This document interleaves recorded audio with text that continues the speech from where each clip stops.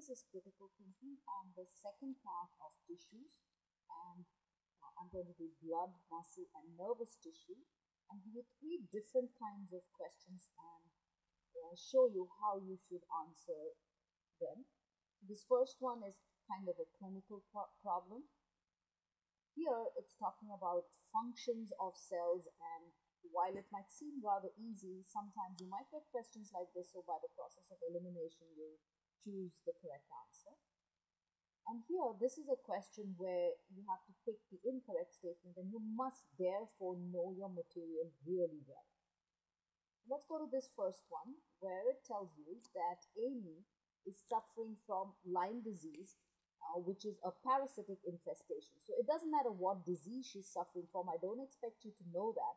But what is important is I tell you that this is a parasitic infestation which you have learned about uh, certain cells which are increased in this kind of uh, when someone has this kind of problem. Now, if you did a differential white cell count, which is when you count the number of white cells in a total count of 100 cells, it asks you which of the cells below will show an increase in number. So therefore, parasitic infestation is the key or operative word here.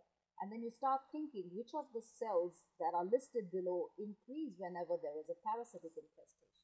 And the correct answer is eosinophil because this increases whenever there's an allergic response or when there is parasitic infestation. So therefore, that's the correct answer. These are, uh, the rest of them are uh, not choices in this case. They have different functions. Let's go to this next question.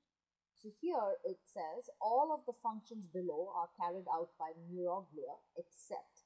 And again, it might seem a little easy if you know your material, which is good. But if you don't, let's say you get a question like this and you don't, um, you know, you're not sure of the uh, of uh, the choices, then start thinking: Is there any uh, neuroglia which provides nutrition? And yes, there is. There is astrocytes do that. Any which uh, which myelinate uh, nerve fibers and yes we have oligodendroglia, and naturally these are in the central nervous system. Any which carry out phagocytosis and yes they are these are microglia.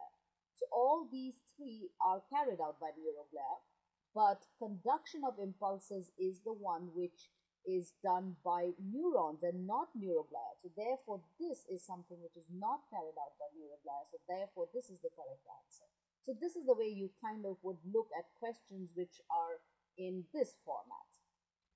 Now let's go to the next one. And here you have a you've got five statements and you have to choose which is the incorrect statement. So it's really important to read this very, very carefully because then you have to think, you know, you have to read each word carefully because sometimes some words, you know, you expect it to say is, but it may be saying is not. So therefore, you know, sort of read everything very, very carefully. So let us look at the statements uh, individually. So the first one, hypolemmal nuclei are seen in skeletal muscle fibers. And this is a true statement because if you look at a skeletal muscle fiber, which is like a cylinder, you have these nuclei which are like ants in a line and they are present just below the sarcolemma. So that is true. Cardiac muscle is classified structurally as striated, and that is right because it has striations, but functionally it is involuntary. So that is also true. So this also is a true statement. Uh, you know, just like uh, skeletal muscle is classified structurally as striated, but functionally is voluntary. So this is, you know, so for cardiac muscle, this is true. Then third one, the smooth muscle of the uterus is capable of hypertrophy and hyperplasia. And this is true because this is one structure in the body where the muscle can undergo hypertrophy, where the muscles, the size of an individual fiber increases, and hyperplasia is where the number of muscle fibers increase. It is only in the uterus where it is physiologically possible. So this is true. And another thing I would like to tell you is while reading these questions, you're actually also learning because you're, you know, this may come in another question in your test or quiz. So therefore, you know, oh, uh, you must sort of keep in mind, oh, I read this somewhere, and yes, so that was true. So you know that way you sort of you're also learning while you're actually reading and taking your uh, quizzes and tests. So let's look at this one then. A demyelinating disease will cause slow conduction of impulses, and this is also true because uh, when uh, a nerve fiber is myelinated, so you have these nodes of Ranvier this way, and the impulse jumps from node to node, so it's fast conducting. Now, when it is demyelinated, what happens is the myelin uh, is removed, so you know the there is no myelin here. So what happens? The impulse travels very, very slowly because it's not able to go from one node to the other because normally it would have jumped over the myelin, but the myelin is missing. So it does cause slowing of impulses and multiple sclerosis is one such disease which, where you see this. So this is also true. Now let's look at the last one.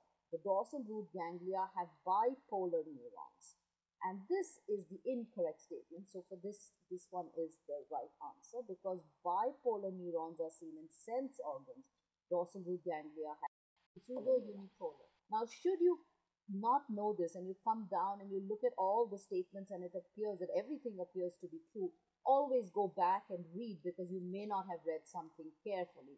And then that's where you'll pick up whatever the right statement is.